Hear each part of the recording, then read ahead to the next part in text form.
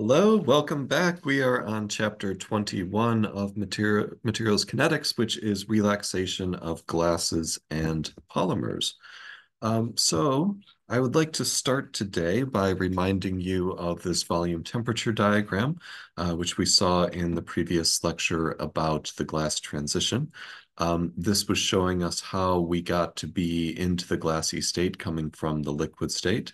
Basically, if you have some liquid, it takes time for the uh, atoms in the disordered liquid to rearrange themselves into an ordered crystalline configuration. And so if you can cool the liquid um, so fast that it doesn't have time to crystallize, you will get a metastable state called the supercooled liquid. As you continue to cool the supercooled liquid, the viscosity increases by orders of magnitude, and eventually the time scales involved with the supercooled liquid flowing uh, become long compared to the time scales that we're observing the system. And when that happens, we get the glass transformation or the glass transition, where there is this gradual freezing in of the supercooled liquid into the glassy structure. And one of the interesting things about the glassy state is because it is out of equilibrium, the properties of the glass depend not just on the chemistry of the glass and the temperature and the pressure, but also on the entire thermal history. So this figure is showing that a fast cooled glass has um, usually a higher molar volume compared to a more slowly cooled glass. Now, one of the properties then that we define to account for this thermal history dependence of glass properties is called the fictive temperature. And we got the fictive temperature by uh, drawing a tangent line to one of these glass lines and seeing where it intersects the supercooled liquid line. And the temperature at which that intersects is uh, kind of like where the structure of the supercooled liquid freezes into the glassy state. And that is called the fictive temperature. So it is an additional order parameter that is used to help define the non-equilibrium thermodynamic state of the glass. And what we saw was that for the fast cooled glass, because um, it is cooled more quickly. Uh, this means that the system has less time to stay in its metastable supercooled liquid equilibrium, and therefore it falls out of equilibrium at a higher temperature that corresponds to a higher fictive temperature labeled here as TF2. On the other hand, if you cool the system more slowly, it's able to stay in that metastable supercooled liquid uh, equilibrium for a bit longer, falling out of equilibrium at lower temperatures, and therefore that corresponds to a lower fictive temperature labeled here as TF1. So even though fictive temperature is not an exact description of the non-equilibrium state of the glass, it is the most convenient way to uh, define an additional parameter that gives us some more information about the thermal history of the glass and the thermal history dependence of glass properties. Now, the other important relation I wanted to bring up here is called the Maxwell relation, and this connects the viscosity of the supercooled liquid or glass, which is labeled here as eta on the left-hand side of the equation, with the relaxation time of the system tau. And the proportionality constant between the viscosity and the relaxation time is the shear modulus G. So what you will see in this lecture and in a lot of the literature on this topic of relaxation is that the viscosity is often used as a stand-in for the relaxation time or vice versa. And that is because they are proportional to each other or mostly proportional to each other, where that proportionality constant is given by the shear modulus. So let us keep that in mind. Um, but what I want to get into first in this lecture is a bit more detail on the concept of the fictive temperature itself. Um, now, this notion of a fictive temperature was first introduced by uh, the scientist here, Arthur Quincy Tool. Um, this was back in 1931. This was the, the first appearance of fictive temperature in the literature. And in this paper by Tool and Eichlin, um, they write, that the physico-chemical condition or state of a glass is reasonably well known only when both the actual temperature and that other temperature at which the glass would be in equilibrium if heated or cooled very rapidly to it are known. This latter temperature has been termed the equilibrium or fictive temperature of the glass. So this was the first time that someone proposed uh, an additional parameter to describe that non-equilibrium state of the glass, and the first appearance then of this term fictive temperature. And the word fictive here literally means fictional. It is an, an artificial temper temperature that is made up uh, in order to act as an order parameter to give us this information about the thermal history of the glass.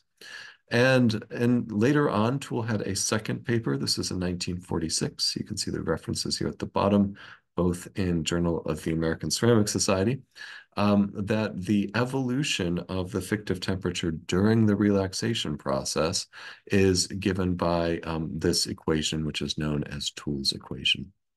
So the left-hand side of the equation is the time rate of change of the fictive temperature. Um, the system is going to be approaching equilibrium by changing its fictive temperature as the glass relaxes towards the supercooled liquid state. On the right-hand side of the equation, there are two parts to this. Uh, in the numerator, we have T minus TF. That is the thermodynamic driving force for um, the relaxation process. So this is the difference between the fictive temperature of the glass uh, versus the actual physical temperature T. And what this is, is a thermodynamic driving force that will cause the glass to relax towards its metastable supercooled liquid state. Um, so that numerator then is the thermodynamic driving force. The denominator here is giving the kinetic rate parameter, or in this case, it's one over the kinetic rate parameter because it is tau, the relaxation time, which is a function of not just temperature, but also thermal history, as we know from our previous lecture on the non-equilibrium viscosity of glass. And of course, this tau here connects back to the viscosity via this Maxwell relation.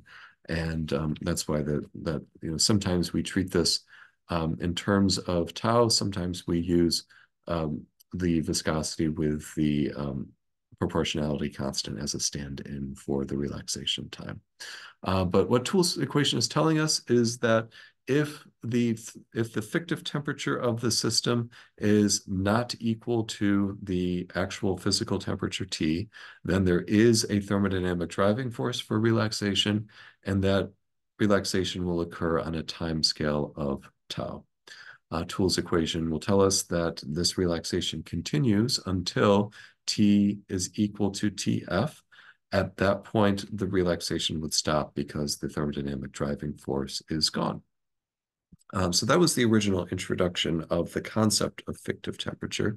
Um, the first scientist who um, kind of connected this back to glass structure was Edward Condon.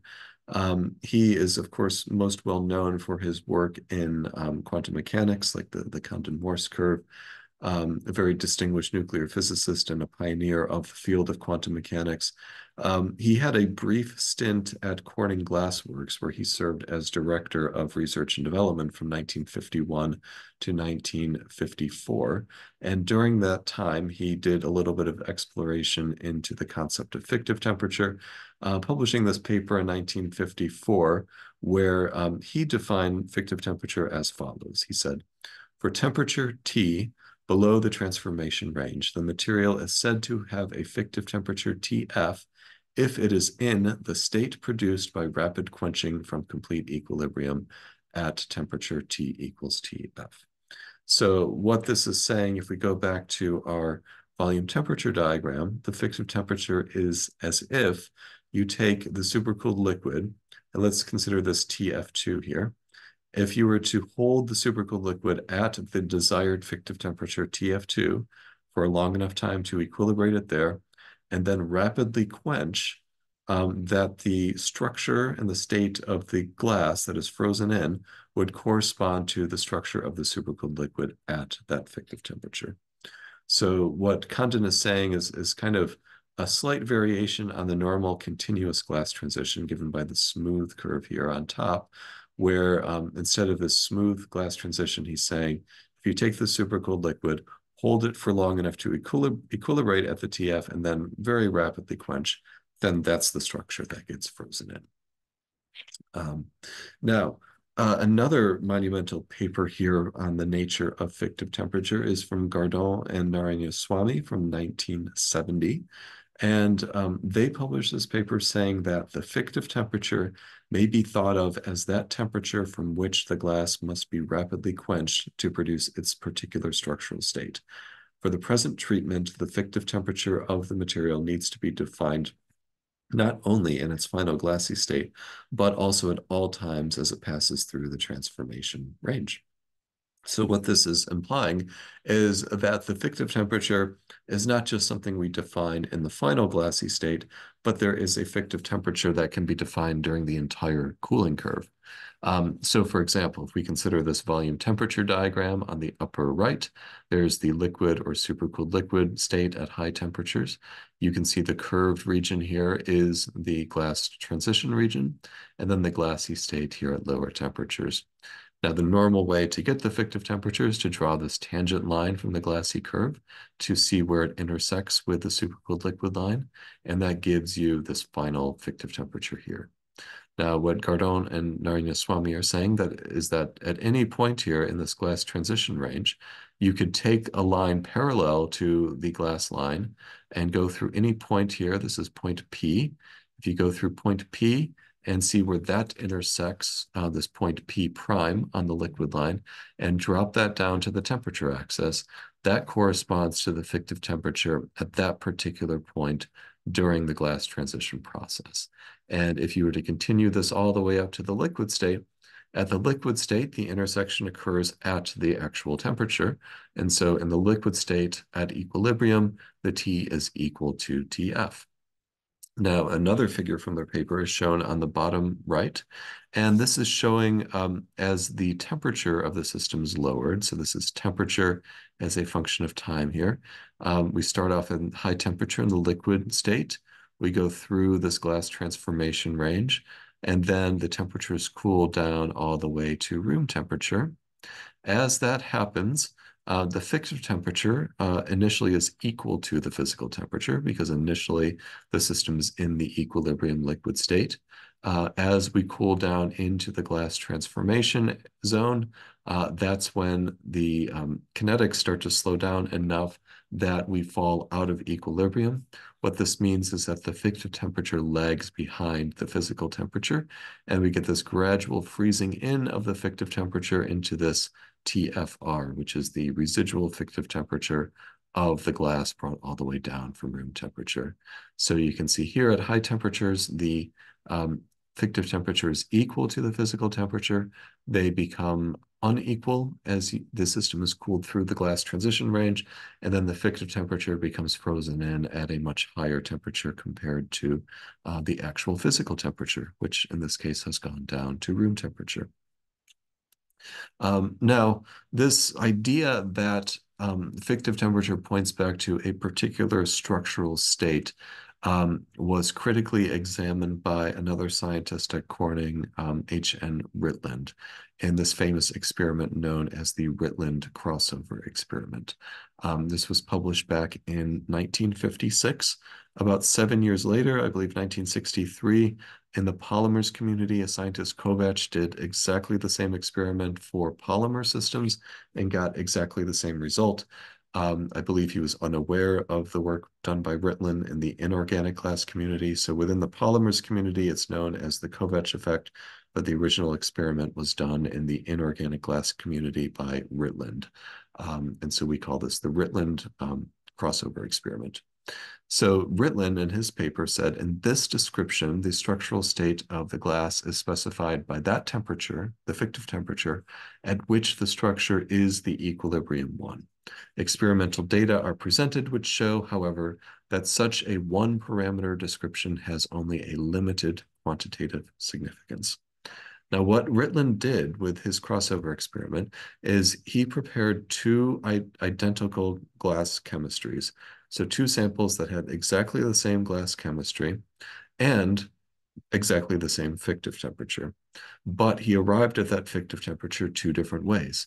Um, in one, one way, the one that's labeled here as soak, the one that corresponds to this horizontal line, that was following um, Condon's notion of taking the supercooled liquid, holding it for a long period of time at this desired fictive temperature, and then rapidly quenching it. So it's soaking it at the desired fictive temperature and then rapidly quenching it.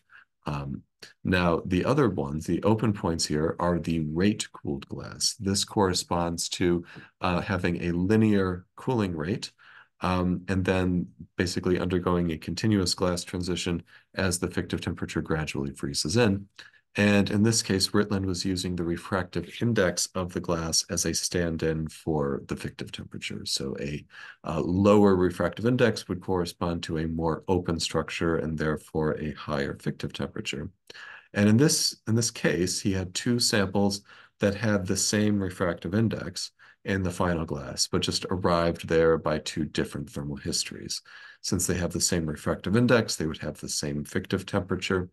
And then what Ritland did was he took those two glasses and then he put them back in a furnace at that where the furnace was set to the fictive temperature. And this fictive temperature is the same for both samples. And then he um, kept the glass in that furnace and watched whether or not there would be relaxation behavior. Now, according to Tool's equation, with Tool's equation, if we go back here, if the temperature is equal to the fictive temperature, which is what, what Ritland did, he had a glass that had um, a, fict a particular fictive temperature. He set the furnace to exactly that fictive temperature. So according to Tool's equation, this should be zero. There should be no thermodynamic driving force for relaxation. And that is exactly what was observed for this case of the soaked sample. So the one that was held and equilibrated at the fictive temperature and rapidly quenched. Indeed, that did not change its refractive index, meaning that it did not exhibit relaxation behavior. However, the other sample, the one that was rate cooled following a linear cooling path, um, take a look at what happened here. So it started off at its um, equilibrium refractive index, uh, it relaxed away from equilibrium. After some time, after about 45 minutes or so, it went through a minimum here and it turned around and relaxed from the other side, and then eventually ended up um, equilibrating from the other side. So it was, it appeared to be relaxing away from equilibrium before turning around and relaxing toward equilibrium again. Now, Ritland's conclusion here was that there is a fundamental limitation to the concept of fictive temperature, and having a single fictive temperature is insufficient to give a complete description of the non-equilibrium state of the glass itself. And so this was pointing to the need to have more than one fictive temperature to give uh, a more comprehensive description of that um, of that thermodynamic state. So um, it was actually a beautiful experiment there. Now, this um, problem was addressed initially by Narayanaswamy in 1971, where he introduced the concept of a memory integral, uh, where he said, the memory integral indicates that any non-equilibrium state is actually a mixture of several equilibrium states. And he proposed this mathematical formulation, which considers um, the non-equilibrium glassy state to be some mixture of equilibrium supercooled liquids. And mathematically, he was able to show that he could capture this Ritland crossover effect, where here you can see that um, you know there's some relaxation modes that are happening on a uh, faster time scale, relaxing in one direction, other relaxation modes happening on a slower time scale, relaxing in the other direction. And um, so this was able to give relaxation away from equilibrium before turning around and then relaxing towards equilibrium. So mathematically, he was able to capture this. Uh, physically, however, this um, doesn't make sense. So uh, this notion that a non-equilibrium state is actually a mixture of several equilibrium states is just incorrect. Um, a non-equilibrium state is unique, and in general, a non-equilibrium state cannot be uh, described as a mixture of several equilibrium states. So there was some, um, you know, mathematical insights here, but based on some um, shaky physics. Now, that was all in terms of kind of um, a structural or a microscopic view of fictive temperature. Um, another interpretation of fictive temperature uh, um, in the macroscopic sense uh, has also been used throughout the field. And a lot of this work was pioneered by uh, Professor Cornelius Moynihan from RPI. And Moynihan's uh, famous paper here in 1976 says fictive temperatures for the same glass in the same non-equilibrium state calculated from different properties are not necessarily identical. And what this means is that if we think about um, fictive temperature, meaning that the uh, the properties of the glass point back to the corresponding properties of the supercooled liquid, um, you could get different values of fictive temperature if you use different properties. Like if you use density, you might get a different fictive temperature compared to refractive index, which might be different compared to enthalpy. Um, and so this was another limitation of this concept of fictive temperature. Basically, it states that you need a separate fictive temperature for each property. Um, now, the, Moynihan's work was uh, generalized and extended here uh, by Yuanzheng Yue from Aalborg University. And this was particularly for glasses that are uh, well outside of equilibrium. So Yue has done a lot of work on fiberglass, and fiberglass is quenched very rapidly. So it has an extremely high cooling rate, up to like a million Kelvin per second. Um, and that means that the, the glass that is formed by this hyperquenched route is very much further out of equilibrium compared to uh, glasses made via normal cooling rates.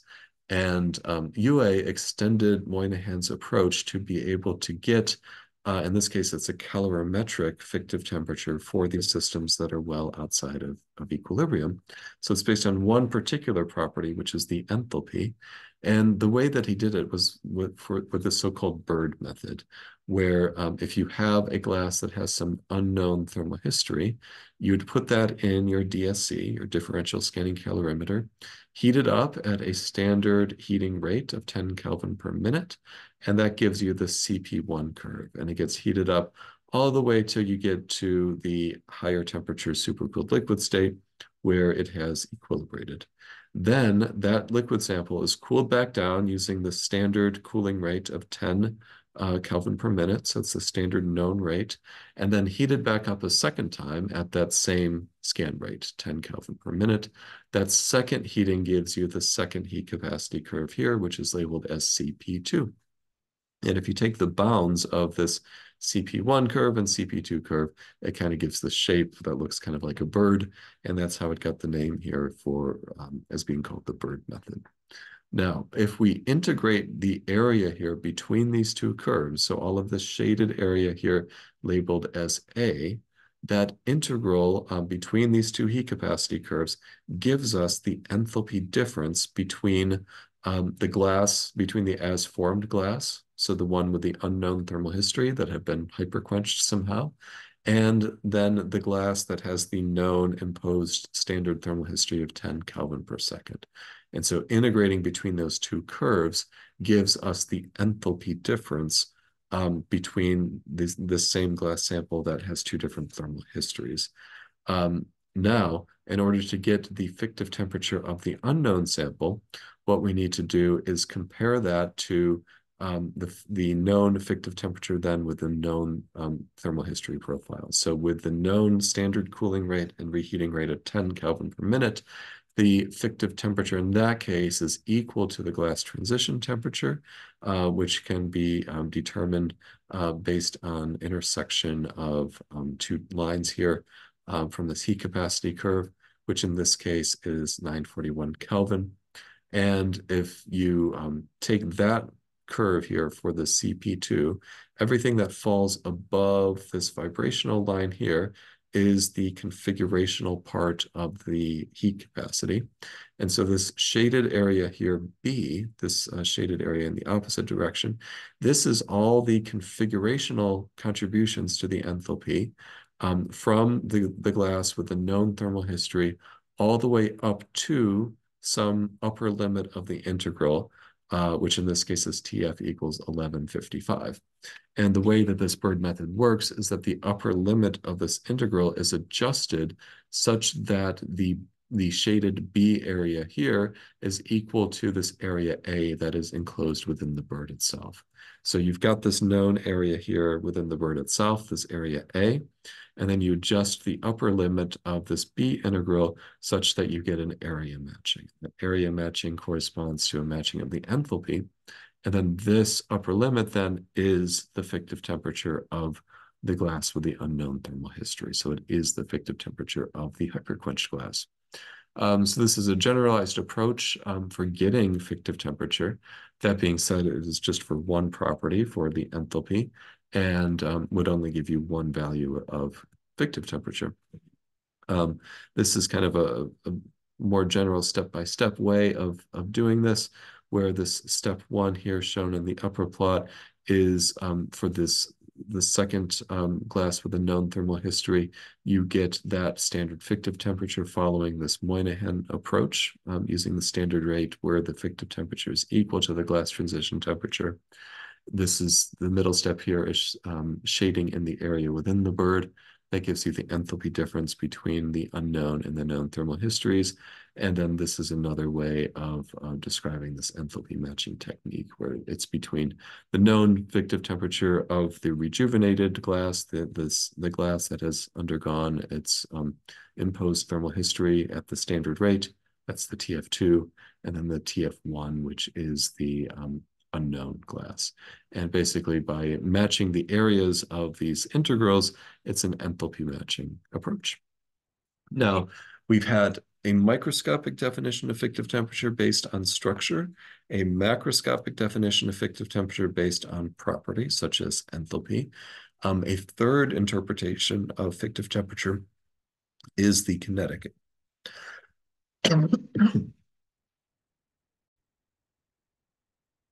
So the third interpretation of fictive temperature is the kinetic interpretation, and this is the one that directly addresses um, the problem that Ritland identified with fictive temperature via his crossover experiment, and that is the need to define more than one fictive temperature. Now, some of the pioneering work in this area was done by Simon Rekhson back in 1986. And in his paper, he said, the model characterizes the glassy state by a broad distribution of partial fictive temperatures, low produced by fast relaxation mechanisms and high produced by slow mechanisms. And so what he's considering here is that this TF curve which you can see this is relaxation. So uh, the TF is evolving with time here, that he's capturing a non-monotonic relaxation behavior where this uh, average fictive temperature is relaxing first away from an equilibrium, turning around and then towards equilibrium again. And that the reason for this is that this TF is actually an average fictive temperature, uh, where it's an average of what's called partial fictive temperatures here, uh, also known as fictive temperature components, that occur on different time scales. So in this case, this TF is some average of this TF53. This TF53 was um, frozen in at much higher temperatures, which means that it has a much slower relaxation response. And then the other one being this TF34, which was frozen in at much lower fictive temperatures because it is a faster process. Now, if you take the system that has an average fictive temperature that is an average of these two partial fictive temperatures, and now hold it at a temperature that's somewhere in the middle, so somewhere between the two partial fictive temperatures, and just hold it there isothermally and watch it relax, what happens is that that average fictive, fictive temperature will relax away from equilibrium, turn around, and then relax towards it. And the reason is um, not because it disobeys Tool's equation, but because Tool's equation needs to be used for these partial fictive temperature components. So if you take this TF34, you note that this relaxes monotonically. It's always relaxing in the same direction. So this TF34 is following Tool's equation, and this is happening at a time scale that is relatively short here, say on the order of a minute or so, a few minutes. And this is relaxing from a lower fictive temperature towards the equilibrium here. On the other hand, this TF53 is a much slower relaxation mode. And this is relaxing from the other side, and it's relaxing on a much longer time scale. You see, by the time this TF34 has reached equilibrium, uh, the TF53 hasn't even started yet. And the reason that we have um, this non-monotonic relaxation behavior of the average TF is because you've got, in this case, two different partial fictive temperatures that are relaxing from different directions on different time scales. This one relaxing from below to above to going upward on a fast time scale. That's what gives you this initial increase. And then after that one equilibrates on a much lower time or much slower time scale, relaxing from the other side. And it's not until all of the fictive temperature components reach equilibrium that the average fictive temperature reaches equilibrium and that the system is truly in equilibrium. And so this is um, kind of the state of the art of relaxation modeling now is in terms of this kinetic interpretation of fictive temperature. But to summarize um, what we've covered in terms of three interpretations of fictive temperature, there is the microscopic interpretation, which is um, viewing fictive temperature as where the structure of the supercooled liquid freezes into that of the glassy state the macroscopic definition of fictive temperature based on uh, matching of properties between the glassy and supercooled liquid states, such as enthalpy mapping, uh, enthalpy matching, and then the kinetic interpretation, um, which uh, considers that the fictive temperature is really an average fictive temperature, averaging over several different um, partial fictive temperatures that relax in different time scales. And this is the interpretation that we're going to be dealing with for the rest of this lecture. Now, why is relaxation behavior so important? It is uh, an inherent property of any glass uh, and any um, polymer that's in the glassy state. And that means that the properties of glasses are continuously evolving. If you heat treat them, they will relax faster compared to at lower temperatures. And it has a, a lot of um, technological implications. So, for example, for glasses that are used as substrates for liquid crystal displays. Those glass substrates, um, when the displays are built on them, they uh, go through a heat treatment process where the glass is heated up. The thin film electronics are deposited onto the glass substrate to get the individual pixels. Um, and then the glass is cooled back down again. And during that heat treatment process, the glass is relaxing, which means it's changing dimensions, and that can lead to misalignment of the pixels. Chemically strengthened glass as well, so that the stress generation and relaxation behaviors have a big impact on the mechanical properties of that glass. Uh, for optical fiber, um, the main optical loss mechanism is Rayleigh scattering, and Rayleigh scattering is a function of thermal history and the relaxation of density fluctuations in the glass. So relaxation is everywhere, and there are many important aspects of relaxation.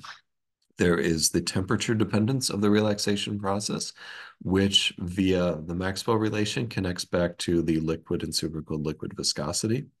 There's the thermal history dependence, which connects back to the non-equilibrium viscosity of glass.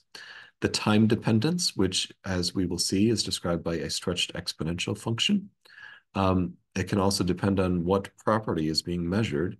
And of course, there's also a very big composition dependence of the relaxation process. Um, so let's focus now on the time dependence of the relaxation piece. And the equation that describes that is the stretched exponential relaxation function, also known as the Kohlrausch function or the Kohlrausch-Williams-Watts function. Um, this was first proposed empirically by Kohlrausch back in 1847. And he was studying the uh, decay of charge on a Leyden jar and found that it didn't obey simple exponential decay here shown with the blue curve, but if you were to take that simple exp exponential decay here and just raise the argument of the exponential to some power beta, where beta is a dimensionless parameter known as the stretching exponent, and is somewhere between zero and one, that the introduction of this one additional parameter here, beta, changes the shape of the curve. And it's almost like if you take this blue curve and stretch it out, where the relaxation happens faster at short times and slower at long times, this gives us the stretched exponential relaxation function, and this provides a much more accurate description of relaxation behavior compared to simple exponential decay. Now, this was proposed back just empirically back in 1847 based on being a simple function that captures the observed uh, physics, um, but you know, doesn't necessarily have a mathematical underpinning. Um, this was kind of an unsolved problem for about 150 years after uh, it had been proposed. And one of the big breakthroughs came um, with Jim Phillips and his development of the diffusion trap model, which showed that if you assume that the non-equilibrium glassy state has some uniform distribution of excitations, and the relaxation occurs as these um, excitations um, diffuse to also uniformly distributed traps, that some of the excitations are going to be closer to the traps. Those will relax in a short relaxation time. Other excitations are farther away from the traps. Those would relax in a longer relaxation time. And if you consider all of them together, that combined, they will give you the uh, functional form of the stretched exponential decay function. So not only that, but this stretching exponent here, beta, um, which had previously been, been considered to be just a, an empirical fitting parameter, actually has physical meaning related to the dimensionality of the relaxation pathways, where this D star here is an effective dimensionality of the relaxation pathways, and beta is equal to D star over D star plus two. So Jim Phillips used this approach to um, to propose that there were two kind of special or magic values of beta equal to three fifths when it's three-dimensional relaxation or three sevenths when there is a fractal dimensionality of relaxation equal to three halves. Basically, the assumption there is that there's an equal partitioning of the um, relaxation pathways into short and long range modes. And that if all the short range things happened already, all that's left is long range behavior. And that would give you a fractal dimensionality of three halves. Sticking three halves in this equation gives you a beta equals three sevenths. And so what he proposed is that for a homogeneous system, that the um, relaxation exponent should be either 3 fifths or 3 sevenths. Now, um, the next up is some experimental validation of this, and this is work that was done uh, by us at Corning. So let's start with Eagle XG glass, which is the glass that is found on most flat panel displays. Um, what we did here was to uh, consider a stress relaxation experiment where there was a beam of Eagle XG glass and that that beam was held at some constant temperature and held on at a particular um, deflection. And then we measured how much stress is required to maintain that constant deflection. What you're seeing here on the left are different levels of that constant deflection here and the stress that's required to maintain that deflection. So a higher deflection here means more strain, and of course, a greater amount of stress is needed to get to that higher strain. Um, now, the initial response of the glass is elastic, meaning that if you were to just apply that stress and immediately release it, that the beam would spring back into its um, original um, original shape. But over time, it takes less and less stress to maintain that constant value of strain. So what this means is that over time, there is a conversion of that elastic strain into a plastic strain until in the limit of long time here, it doesn't require any additional stress to maintain uh, that deflection. Or in other words, the glassy sample is permanently uh, strained at that specified level. Now, as this stress decays, this is the stress relaxation process. And if we take these measured stress curves and normalize them by the initial stress, you get this normalized stress relax relaxation function shown on the right, where all three of these curves for three different deflections, they all um, collapse onto a single master curve. And in fact, that master curve uh, perfectly fits the stretched exponential relaxation function with the, the exponent value of 3 fifths as predicted by Phillips for um, relaxation in the diffusion trap model with an effective dimensionality of 3. Now, if we go forward, uh, we'll see that um, this is a different glass composition. This is a Corning jade glass. uh, which is a glass that has a higher glass transition temperature. And now, instead of changing the different deflections, we're changing the uh, temperatures that correspond to the isothermal holds. So 700 degrees C, 735 and 758 degrees C. Of course, at, fat, at higher temperatures, the relaxation occurs on a shorter time scale compared to lower temperatures. But in all of these cases here, the stress relaxation function again fits um, stretched exponential relaxation with an exponent of 3 fifths. And if you take the characteristic relaxation time and plot that, it follows um, an Arrhenius behavior as expected for an isostructural system. Now, the interesting thing is, what if we take the same chemistry here, the same Corning jade glass, the same temperatures, 700, 735, and 758 degrees C, but now instead of measuring stress relaxation, we measure um, a volumetric relaxation, which is indicative of structural relaxation. And this is showing, um, or this is, was measured by uh, measuring the density of the glass as a function of time, um, not under stress anymore, but, but this relaxation is just structural relaxation as a result of the thermal disequilibrium of the glass. So there's no applied stress. And if we um, normalize this to our initial densities, this gives us the structural relaxation function, which is shown on the right. Again, all three curves um, exhibit stretched exponential relaxation, but the interesting thing is that the exponent is different. Um, for structural relaxation, the exponent is 3 sevenths, for stress relaxation for the same glasses at the same temperatures, the exponent is 3 fifths. So 3 fifths comes when you have all, all relaxation pathways activated in three dimensions. 3 sevenths arises um, if only the long-range relaxation pathways are activated. And the difference here in the experimental setup is that in the stress relaxation experiments, the system was under stress, meaning that there's a greater amount of disequilibrium, meaning that there's short and long-range pathways activated. Here, for structural relaxation, the entire driving force for the relaxation process is the thermodynamic disequilibrium of the glass. So in this case, presumably just the long-range pathways are activated, giving beta equals 3 sevenths. And this is very interesting because you can see these um, different characteristic slopes for stress relaxation experiments in blue versus structural relaxations in green. Um, and these different slopes correspond to those different uh, exponents, three fifths for stress relaxation, three sevenths for structural relaxation. And on the right, you can also see that these are happening on very different time scales. This shows the logarithm of the relaxation time. Uh, and for stress relaxation, this is occurring about one or one and a half orders of magnitude faster compared to structural relaxation.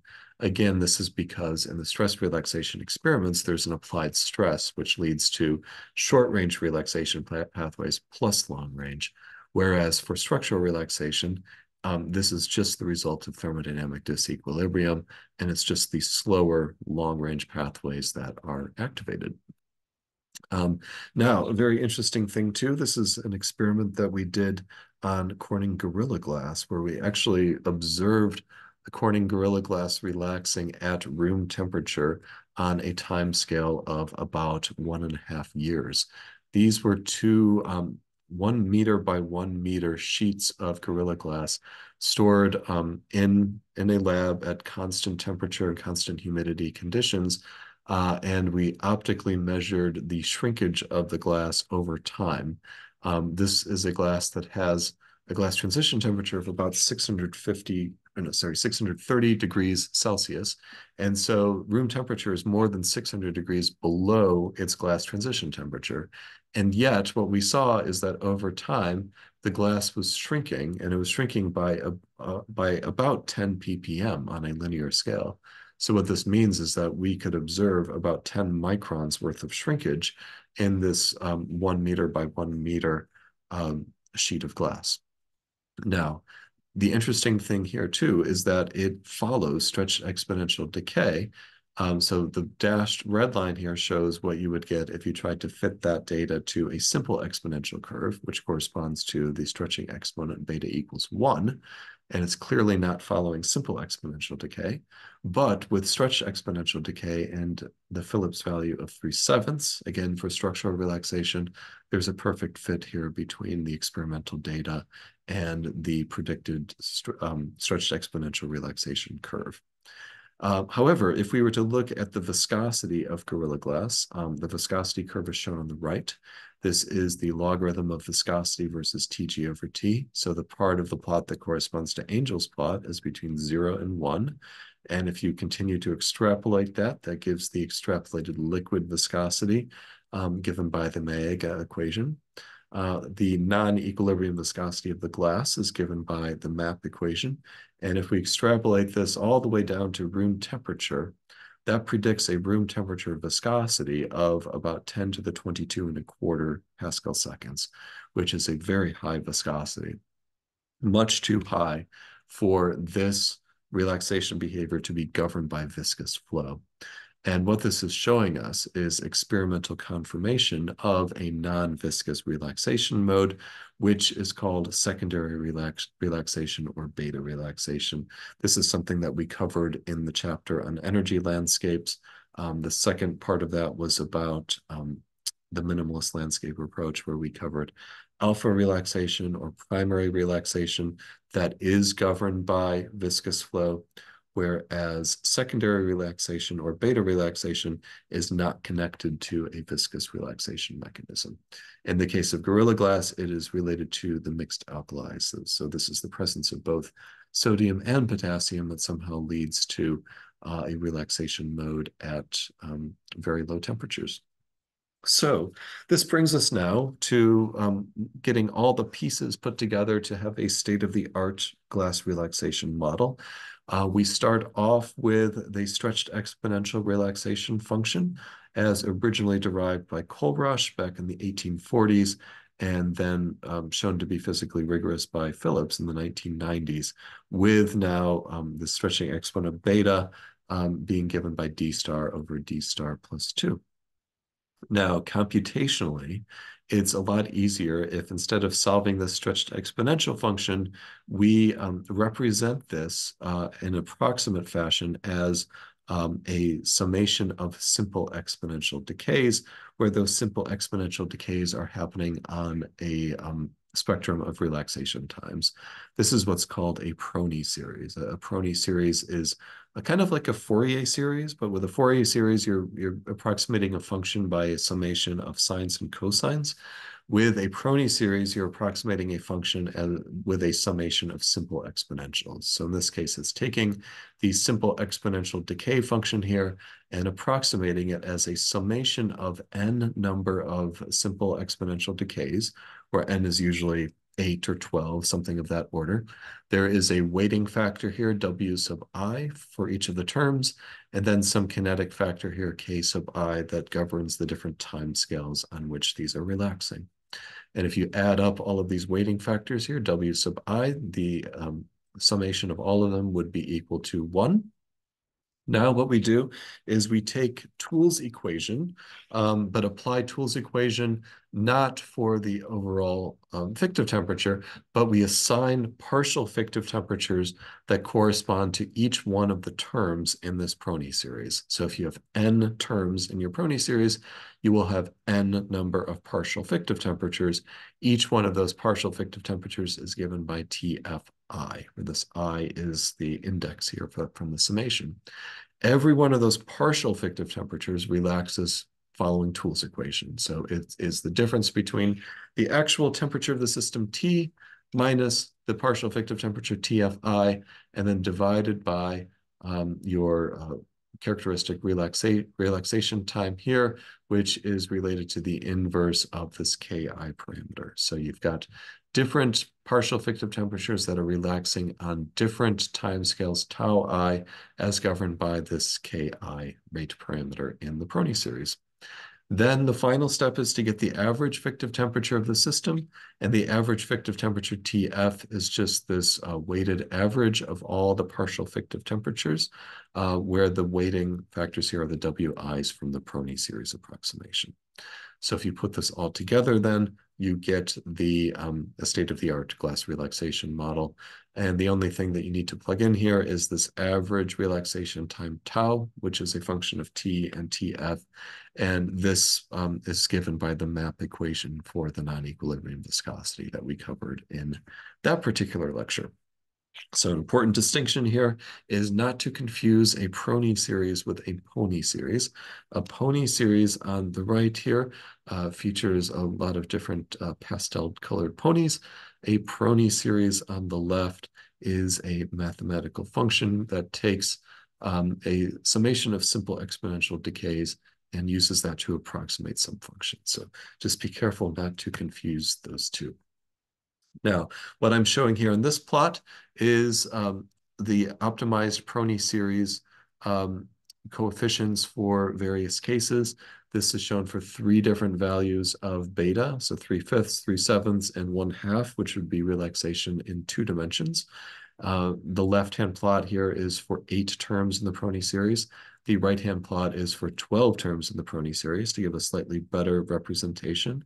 And both of these graphs show the WIs on the left and then the KIs on the uh, horizontal axis.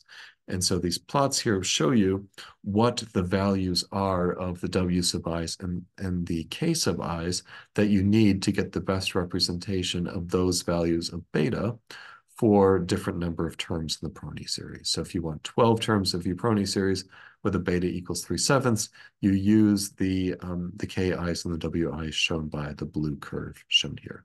For those 12 points would be the 12 values. And this shows um, a fit of the stretch exponential decay um, by adding additional terms to the Prony series.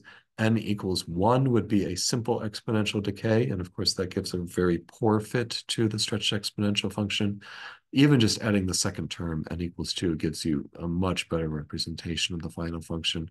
Going to n equals 4 or n equals 8 gives you very good representation. The residuals are shown on the right. The residual here is just the difference between the Prony series representation and the actual stretched exponential decay.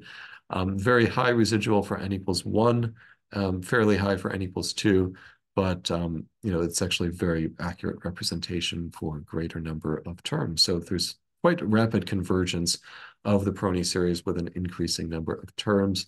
Um, this plot shows the log of the root mean squared error of the Prony series fit as a function of the number of terms in the Prony series. So this can be used as a guide if you want to get um, you know, accuracy with this, within a certain level for a certain value of beta. This tells you how many terms that you would need to include in the Prony series. Um, this plot shows, um, so the blue line is for n equals 4, four terms in the Prony series, the green one for n equals 8. And this is for as a function of beta, um, going all the way from beta equals 0 all the way up through beta equals 1. Um, and this is the root mean squared error that you get. So uh, basically, the worst error occurs when you've got a beta around 0.3 or so. And if you go either side, it's becoming closer to um, a simple exponential type of decay. Now, if we were to take the first derivative of the relaxation function, um, so the first derivative of the stretched exponential function um, evaluated in the limit of time going to zero. So this would be the initial um, first derivative of the stretched exponential decay function, um, that derivative is actually um, has the limiting behavior of going to minus infinity. So one of the shortcomings of the Prony series approximation is that if you take that same derivative of the Prony series, it's going to a finite value shown here at the bottom. Um, so this is a, an intrinsic shortcoming of the Prony series approach is that it cannot capture the first derivative or that, that very steep initial slope um, in the short time limit. And so that, that's really the biggest deficiency. Um, other than that, it is actually a rather good approximation. This shows um, the slope of the relaxation function. So that's the first derivative and on the left, and then the resi the corresponding residuals. And you can see that these residuals kind of blow up in the um, zero time limit. And that's because um, the Prony series cannot capture that divergence and slope of the stretch exponential function at zero time. Now, I mentioned earlier that the Kohlrausch stretch exponential function is also called the Kohlrausch-Williams-Watts function. That's because there were um, uh, there's a bunch of work published by Williams and Watts doing a frequency domain analysis of um, the stretch exponential function. There's actually no analytical solution um, for the Fourier transform of the stretched exponential function. But for the Prony series representation, you can take the Fourier transform of that, and um, that's given by, um, by this equation here at the bottom. And so the Prony series is also convenient for doing a frequency domain analysis because you can um, take that, uh, take an analytical Fourier transform and if we compare that to a numerically evaluated Fourier transform of the stretch exponential function, it actually gives a pretty good representation um, in both the real part of the spectrum shown on the left and the imaginary part of the spectrum on the right. Um, n equals one, again, corresponds to simple exponential decay, and then it rapidly converges um, to the real stretch exponential decay for larger values of n. And if you um, take the um, you know the square of the real plus the imaginary parts of the spectrum, you can get the power spectral density of the stretched exponential decay function, where again, you can see the um, rapid convergence here with increasing number of terms in the Prony series. Now, all of this is implemented in a software tool called RelaxPy. This is an open source relaxation modeling tool that implements everything that I've covered today. Um, this is open source, it's free. Uh, anyone can go and download it and use it. So you are welcome to do so at um, the link shown here. So to summarize, um, the non-equilibrium state of the glass or polymer system is typically described by fictive temperature, but different people mean different things when they say fictive temperature. There's the microscopic interpretation, macroscopic, and kinetic interpretation. What I presented today is a, a state-of-the-art glass or polymer relaxation model based on a Prony series approximation of the stretched exponential function in the context of the kinetic description of um, fictive temperature, where the average fictive temperature is given by an average of multiple partial fictive temperatures, where each of those partial fictive temperatures relaxes according to Tool's equation, and they each correspond to one term in the Prony series. All right, that does it for now. If you have any questions, please let me know. Otherwise, I will see you next time. Thank you very much.